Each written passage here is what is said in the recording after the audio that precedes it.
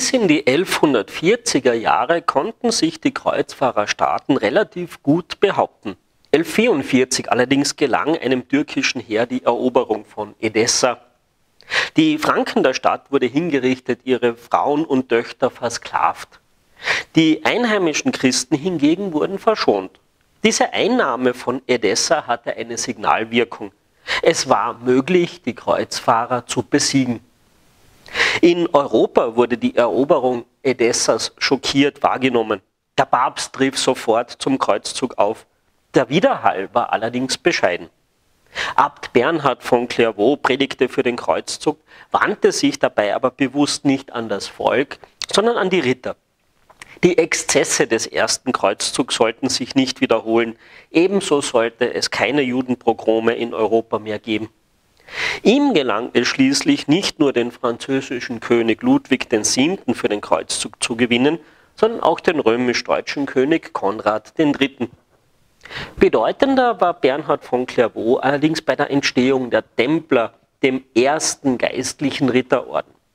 Den Begriff Militia Christi wörtlich nehmend hatte Hugo von Bayern 1120 in Jerusalem einen Orden gegründet, der sich mönchischen Idealen genauso verpflichtet fühlte wie dem Heidenkrieg. Durch die Lage am Templum Salomonis wurde der Orden schnell Templerorden genannt. Die Aufgabe bestand darin, Pilger im Heiligen Land vor Überfällen zu schützen. Schnell allerdings beteiligten sich an den Kämpfen der Kreuzritter. 1129 wurde ihre Ordensregel vom Papst bestätigt. Bernhard von Clairvaux war begeistert von den Templern, denn sie lehnen die Verschwendungs- und Ruhmsucht des Rittertums ab. Sie führten einen asketischen Kampf gegen die Feinde des Herrn. Die Templer wurden zum vermögendsten Ritterorden. Johanniter und Deutscher Orden folgten ihrem Beispiel. Ihre erste Bewährungsprobe bestanden die Templer am zweiten Kreuzzug. Im Frühjahr 1148 waren Ludwig VII. und Konrad III. nach verlustreichen Kämpfen in Anatolien mit den Resten des Heeres in Palästina eingetroffen. Entgegen dem Rat, gegen Aleppo vorzugehen, wurde beschlossen, Damaskus anzugreifen.